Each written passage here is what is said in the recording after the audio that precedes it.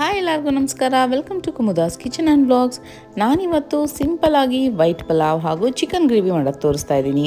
ಇದು ಸಂಡೇ ಲಂಚ್ಗಂತೂ ತುಂಬಾ ಒಳ್ಳೆ ಚಾಯ್ಸ್ ಬನ್ನಿ ಹಾಗಾದರೆ ಇದನ್ನು ಹೇಗೆ ಮಾಡೋದಂತ ನೋಡೋಣ. ಫಸ್ಟು ಚಿಕನ್ ಗ್ರೇವಿ ಮಾಡ್ತಾ ಇದ್ದೀನಿ. ಬನ್ನಿ, ಹಾಗಾದರೆ ಸ್ಟಾರ್ಟ್ ಮಾಡೋಣ. ಫಸ್ಟು ಒಂದು ಕಡಾಯಿ ಇಟ್ಕೊಂಡಿದ್ದೀನಿ ಅದಕ್ಕೊಂದು ಸ್ವಲ್ಪ ಎಣ್ಣೆ ಹಾಕೋತಾ ಇದ್ದೀನಿ. ಎಣ್ಣೆ ಚೆನ್ನಾಗಿ ಬಿಸಿ ಆದಮೇಲೆ ಒಂದು ಸ್ವಲ್ಪ ಮೆಂತ್ಯ ಸೊಪ್ಪನ್ನ ಸಣ್ಣಗೆ ಹೆಚ್ಕೊಂಡು ಎಣ್ಣೆಗೆ ಹಾಕ್ಕೊಂಡು ಹುರ್ಕೋತಾ ಇದ್ದೀನಿ. ಮೆಂತ್ಯ ಸೊಪ್ಪು ಚಿಕನ್ ರೆಸಿಪೀಸ್ಗೆ ತುಂಬಾ ರುಚಿ ಕೊಡುತ್ತೆ ಹಾಗೂ ಈಗ ಎಣ್ಣೆ ಹಾಕಿ ಕುರಿಯೋದ್ರಿಂದ ಕಹಿ ಅಂಶ ಎಲ್ಲ ಕಮ್ಮಿ ಆಗುತ್ತೆ. ಈಗ ಒಂದು ಮಿಕ್ಸಿ ಜಾರ್ಗೆ ಎರಡು ಈರುಳ್ಳಿ, ಒಂದು ಸ್ಪೂನ್ ಮೆಣಸು ಹಾಗೂ ಒಂದು ಸ್ಪೂನ್ ಅರಿಶಿನ ಹಾಕ್ಬಿಟ್ಟು ನುಣ್ಣಗೆ ರುಬ್ಕೊಂಡಿದ್ದೀನಿ ಇದನ್ನು ಎಣ್ಣೆಗೆ ಹಾಕ್ಕೊಂಡು ಹುರ್ಕೊಳ್ಳೋಣ. ನೋಡಿ ಈರುಳ್ಳಿಲಿರೋವಂಥ ನೀರಿನಂಶ ಎಲ್ಲ ಕಮ್ಮಿ ಆಗಬೇಕು. ಅಲ್ಲಿವರೆಗೂ ಚೆನ್ನಾಗಿ ಹುರ್ಕೊಳ್ಳೋಣ. ನೋಡಿ ಈ ಥರ ಆಗಬೇಕು ಈರುಳ್ಳಿ ಎಲ್ಲ. ಇವಾಗ ಇದಕ್ಕೆ ಅರ್ಧ ಕೆ ಜಿಯಷ್ಟು ಚಿಕನ್ ತೊಗೊಂಡಿದ್ದೀನಿ. ಚಿಕನ್ ಹಾಕ್ಬಿಟ್ಟು ಒಂದು ಐದರಿಂದ ಏಳು ನಿಮಿಷದವರೆಗೂ ಮೀಡಿಯಮ್ ಉರಿನಲ್ಲಿ ಹುರ್ಕೊಳ್ಳೋಣ.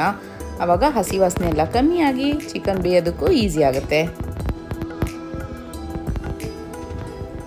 ಇವಾಗ ಹುರಿತಾ ಇದ್ದಂಗೆ ಒಂದು ಟೀ ಸ್ಪೂನಷ್ಟು ಶುಂಠಿ ಬೆಳ್ಳುಳ್ಳಿ ಪೇಸ್ಟ್ ಹಾಕ್ತಾ ಇದ್ದೀನಿ. ಅದ್ರ ಜೊತೆಗೇ ಹಾಕ್ಕೊಂಡು ಹುರ್ಕೊಂಡ್ರೆ ಈ ಶುಂಠಿ ಬೆಳ್ಳುಳ್ಳಿ ಹಸಿ ವಾಸನೆನೂ ಕಮ್ಮಿಯಾಗಿ ಚಿಕನ್ಗೆ ಫ್ಲೇವರ್ ಹಿಡ್ಕೊಳ್ಳುತ್ತೆ. ಈಗ ಒಂದು ಮಿಕ್ಸಿ ಜಾರ್ಗೆ ಒಂದು ಹಿಡಿಯಷ್ಟು ಪುದೀನ ಹಾಗೂ ಕೊತ್ತಂಬರಿ ಎರಡೂ ಸೇರಿ ಒಂದು ಹಿಡಿಯಷ್ಟು ತೊಗೊಂಡು ಕಾಲು ಗ್ಲಾಸ್ ನೀರು ಹಾಕ್ಬಿಟ್ಟು ನುಣ್ಣಗೆ ರುಬ್ಕೊಳ್ಳೋಣ. ನೋಡಿ, ಈಗ ರುಬ್ಬಿರೋಂಥ ಪೇಸ್ಟ್ ರೆಡಿಯಾಗಿದೆ ಇದನ್ನು ಚಿಕನ್ಗೆ ಹಾಕ್ತಾ ಇದ್ದೀನಿ. ಹಾಕ್ಬಿಟ್ಟು ಮಿಕ್ಸ್ ಮಾಡ್ಕೊಳ್ಳೋಣ. ಇದನ್ನು ಒಂದು ಮೂರರಿಂದ ನಾಲ್ಕು ನಿಮಿಷದವರೆಗೂ ಚೆನ್ನಾಗಿ ಕುದಿಸಿದ್ರೆ ಅದರಲ್ಲಿರೋ ನೀರಿನಂಶ ಎಲ್ಲ ಕಮ್ಮಿ ಆಗಬೇಕು ಹಾಗೂ ಸೊಪ್ಪಿನ ಹಸಿ ವಾಸನೆ ಎಲ್ಲ ಹೋಗಬೇಕು. ಅಷ್ಟರಲ್ಲಿ ಈಗ ಅದೇ ಮಿಕ್ಸಿ ಜಾರ್ಗೆ ನಾನು ಒಂದು ಟೊಮ್ಯಾಟೊ, ಎರಡು ಟೇಬಲ್ ಸ್ಪೂನಷ್ಟು ಕಡಲೆ ಒನ್ ಟೀ ಸ್ಪೂನಷ್ಟು ಗಸಗಸೆ ಹಾಕ್ತಾ ಇದ್ದೀನಿ ಹಾಗೂ ಅರ್ಧ ಕಪ್ಪಷ್ಟು ಫ್ರೆಶ್ ಆಗಿ ತುರಿದಿರೋಂಥ ತೆಂಗಿನ ತುರಿ. ಅದಕ್ಕೆ ಅರ್ಧ ಕಪ್ಪಷ್ಟು ನೀರು ಹಾಕ್ಬಿಟ್ಟು ನುಣ್ಣಗೆ ರುಬ್ಕೊಳ್ಳೋಣ. ನೋಡಿ ರುಬ್ಬಿರೋಂಥ ಪೇಸ್ಟ್ ರೆಡಿಯಾಗಿದೆ ಇವಾಗ ನೀವೇ ನೋಡ್ಬೋದು, ನಾವು ಅವಾಗಲೇ ಸೊಪ್ಪುಗಳೆಲ್ಲ ರುಬ್ಬಿ ಹಾಕಿರೋ ನೀರೆಲ್ಲ ಆಲ್ಮೋಸ್ಟ್ ಕಮ್ಮಿ ಆಗಿದೆ. ಹಾಗೂ ಸೊಪ್ಪಿನ ಫ್ಲೇವರು ಕಮ್ಮಿ ಆಗಿರುತ್ತೆ. ಇವಾಗ ಇದಕ್ಕೆ ರುಬ್ಬಿರೋ ಅಂಥ ಟೊಮ್ಯಾಟೊ, ತೆಂಗಿನಕಾಯಿ ಪೇಸ್ಟ್ ಹಾಕೋತಾ ಇದ್ದೀನಿ. ಹಾಗೂ ಒಂದು ಇನ್ನೂರೈವತ್ತು ಎಂ ಎಲ್ ಅಷ್ಟು ನೀರು ಹಾಕ್ಕೊಳ್ಳೋಣ ಹಾಕ್ಬಿಟ್ಟು ಒಂದು ರೌಂಡ್ ಮಿಕ್ಸ್ ಮಾಡ್ಕೊಳ್ಳೋಣ.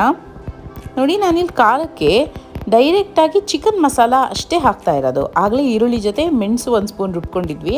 ಈಗ ಎರಡು ಟೇಬಲ್ ಸ್ಪೂನಷ್ಟು ಚಿಕನ್ ಮಸಾಲ ಇದರಲ್ಲೇ ಖಾರ ಎಲ್ಲ ಇರುತ್ತೆ. ಸೊ ನಾವು ಮಾಡ್ತಿರೋ ಗ್ರೇವಿ ಬಂದುಬಿಟ್ಟು ಮೀಡಿಯಮ್ ಸ್ಪೈಸಿ ಇರುತ್ತೆ. ತುಂಬ ಸ್ಪೈಸಿ ಇರೋದಿಲ್ಲ. ಫೈನಲ್ ಆಗಿ ರುಚಿಗೆ ತಕ್ಕಷ್ಟು ಉಪ್ಪು ಹಾಕೋಣ. ಹಾಕ್ಬಿಟ್ಟು ಮಿಕ್ಸ್ ಮಾಡಿ. ಈಗ ಇದ್ರ ಮೇಲೆ ಒಂದು ಲಿಡ್ ಕ್ಲೋಸ್ ಮಾಡಿಬಿಟ್ಟು, ಸಿಮ್ಮಲ್ಲಿಟ್ಟು ಇಪ್ಪತ್ತು ನಿಮಿಷದವರೆಗೂ ಬೇಯಿಸ್ಕೊಂಡ್ರೆ ಚಿಕನ್ ರೆಡಿ ಆಯಿತು ಅಂತ. ಆ ಫ್ಲೇವರ್ ತುಂಬಾ ಚೆನ್ನಾಗಿರುತ್ತೆ. ಪಾತ್ರೆಯಲ್ಲಿ ಮಾಡ್ತಿರೋದ್ರಿಂದ ಸಿಮ್ಮಲ್ಲಿ ಬೇಯಿಸೋದಂತೂ ಇನ್ನೂ ಚೆನ್ನಾಗಾಗುತ್ತೆ ರುಚಿ. ನೋಡಿ, ಈಗ ನೀವೇ ನೋಡ್ಬೋದು, ಇಪ್ಪತ್ತು ನಿಮಿಷ ಬೇಯಿಸಾಗಿದೆ. ಎಣ್ಣೆ ಎಲ್ಲ ಸೈಡಲ್ಲಿ ಬಿಟ್ಕೊಂಡಿದೆ.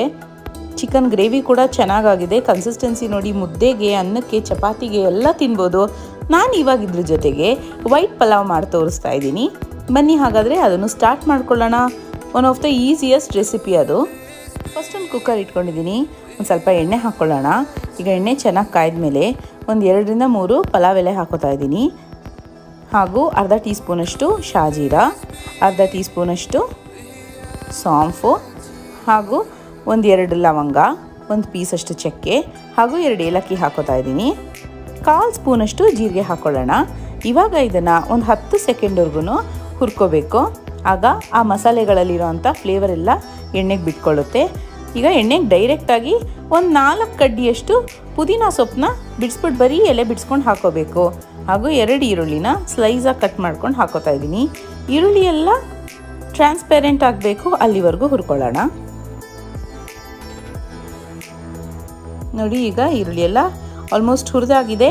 ಈಗ ಐದು ಹಸಿಮೆಣ್ಸಿನ್ಕಾಯಿನ ಜಸ್ಟ್ ಎರಡೆರಡು ಪೀಸ್ ಮಾಡಿಕೊಂಡು ಹಾಕೊತಾ ಇದ್ದೀನಿ.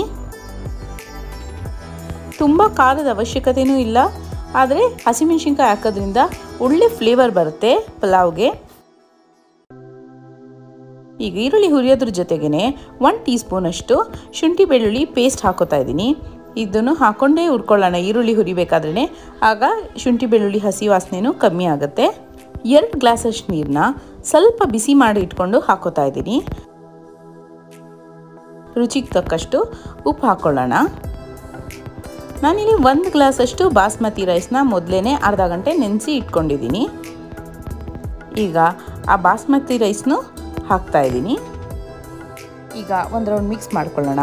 ಈಗ ಫೈನಲ್ ಆಗಿ ಒಂದು ಸ್ವಲ್ಪ ಕೊತ್ತಂಬರಿ ಸೊಪ್ಪನ್ನ ಸಣ್ಣಗೆ ಹೆಚ್ಚಿಟ್ಕೊಂಡು ಗಾರ್ನಿಷ್ ಮಾಡಿಬಿಟ್ಟು ಡಿಸ್ಟರ್ಬ್ ಮಾಡೋದು ಬೇಡ. ಹಾಗೇನೇ ಕುಕ್ಕರ್ ಲಿಡ್ನ ಕ್ಲೋಸ್ ಮಾಡೋಣ. ಕ್ಲೋಸ್ ಮಾಡಿಬಿಟ್ಟು ಎರಡು ವಿಸಿಲ್ವರೆಗೂ ಕೂಗಿಸ್ಕೊಳ್ಳೋಣ. ಆಮೇಲೆ ಅದ್ರ ಪ್ರೆಷರು ಅದಾಗದೇ ರಿಲೀಸ್ ಆಗಬೇಕು. ಅಲ್ಲಿವರೆಗೂ ಕುಕ್ಕರ್ನ ಮುಟ್ಟೋದು ಬೇಡ ಈಗ ನೋಡಿ ಪ್ರೆಷರ್ ಎಲ್ಲ ರಿಲೀಸ್ ಆದಮೇಲೆ ಕುಕ್ಕರ್ ಲಿಡ್ನ ತೆಗೆದ್ರೆ ನೀವೇ ನೋಡ್ಬೋದು ಎಷ್ಟು ಚೆನ್ನಾಗಿರೋ ಅಂಥ ವೈಟ್ ಪಲಾವ್ ಆಗಿದೆ. ಇದನ್ನು ಮಾಡೋದು ಜಸ್ಟ್ ಹತ್ತು ನಿಮಿಷದ ಟೈಮ್ ಅಷ್ಟೇ ಆ್ಯಂಡ್ ಬರೀ ವೈಟ್ ರೈಸ್ ತಿನ್ನೋದಕ್ಕಿಂತ ಹೀಗೆ ಮಾಡಿಕೊಟ್ರೆ ಮನೆಯವ್ರಿಗೆಲ್ಲ ಫ್ಲೇವರ್ಫುಲ್ ಆ್ಯಂಡ್ ಟೇಸ್ಟ್ಫುಲ್ ಆಗಿ ತುಂಬ ಇಷ್ಟ ಆಗುತ್ತೆ. ಇದ್ರ ಜೊತೆಗೆ ಚಿಕನ್ ಗ್ರೇವಿ ಆಗಿರ್ಬೋದು, ವೆಜ್ ಕೊರ್ಮಾ ಆಗಿರ್ಬೋದು, ಏನಾದರೂ ಮಾಡ್ಕೊಳ್ಳಿ. ತುಂಬಾ ಚೆನ್ನಾಗಿರುತ್ತೆ. ನೀವು ನಿಮ್ಮ ಮನೇಲಿ ಟ್ರೈ ಮಾಡಿ. ನೀವು ಖಂಡಿತ ಇಷ್ಟಪಡ್ತೀರಾ? ನನ್ನ ವಿಡಿಯೋ ನಿಮ್ಗೆ ಇಷ್ಟ ಆಗಿದ್ರೆ ಲೈಕ್ ಮಾಡಿ ಶೇರ್ ಮಾಡಿ ಕಮೆಂಟ್ ಮಾಡಿ. ಹಾಗೂ ನನ್ನ ಚಾನಲ್ಗೆ ಸಬ್ಸ್ಕ್ರೈಬ್ ಮಾಡಿ. Thank you